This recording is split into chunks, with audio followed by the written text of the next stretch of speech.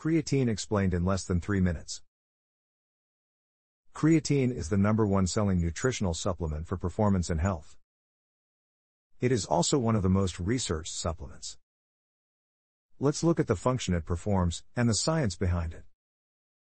There are links to research and studies in the video description. Creatine is a vital component in the human body and is used to make ATP. ATP is the fuel used in the phosphagen energy system. It provides bursts of high energy, for up to 10 seconds, after which it needs to recover. Understanding the body's energy systems is critical information for building a program that maximizes hypertrophy, and we will cover that in a future video. So what is the latest research telling us? 1.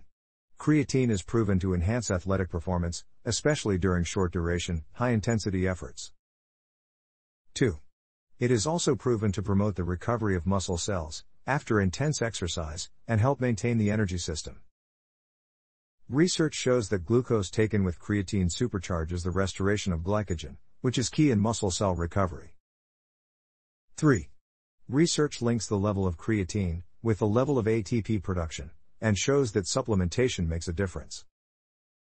Research shows a creatine peak after 8 to 12 weeks of saturation, using 20 grams per day. Doses should be split up and consumed 3 to 4 times per day, and always with carbohydrates. Consume one dose, 1 hour before an intense workout, and one dose immediately after. 4. Creatine retains water. But in a positive way. Because it is part of the process of building glycogen, the water goes into the muscle, making it bigger. 5. Creatine is safe, verified in studies, where 40 grams plus were consumed per day, over 12 months. It has no impact on liver or kidney functions in healthy adults. Creatine monohydrate was used in most of the research. In summary, creatine works for high intensity sports, and is important to weightlifters, powerlifters, and bodybuilders. And it is cheap and safe. If you like this video, please support the channel by liking and subscribing. Thank you for watching.